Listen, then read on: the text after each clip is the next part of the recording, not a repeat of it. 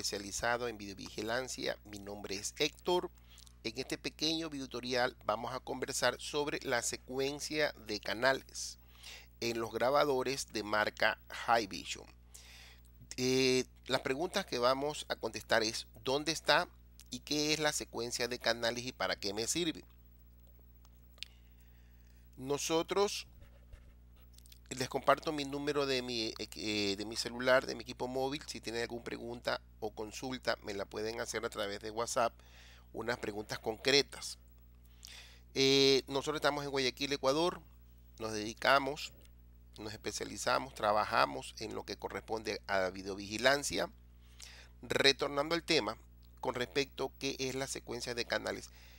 Consiste en mostrar canal, canal o imagen a mi imagen que cubre el 100% de la pantalla en un tiempo determinado.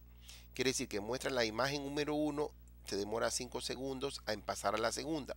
De la segunda a la tercera, otros 5 segundos.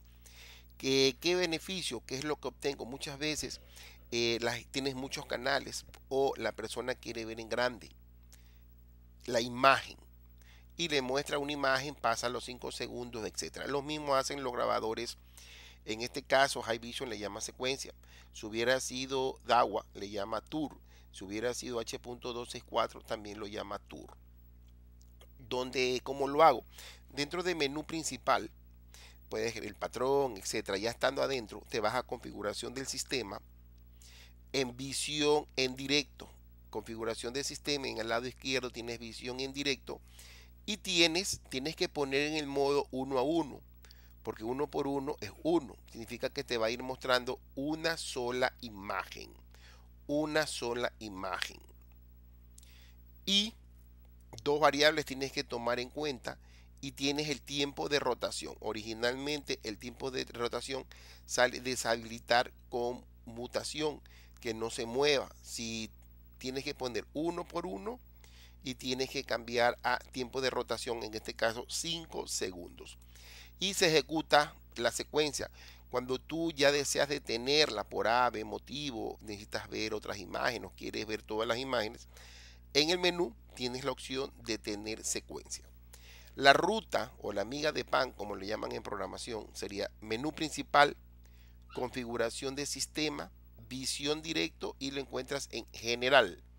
Y tienes que tomar en cuenta las dos variables. Uno, poner modo uno a uno y tiempo de, duración de rotación es el tiempo que se va a demorar.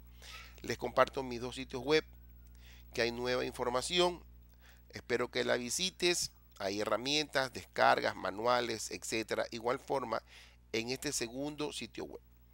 Espero que te suscribas. Nosotros todas las semanas hacemos el esfuerzo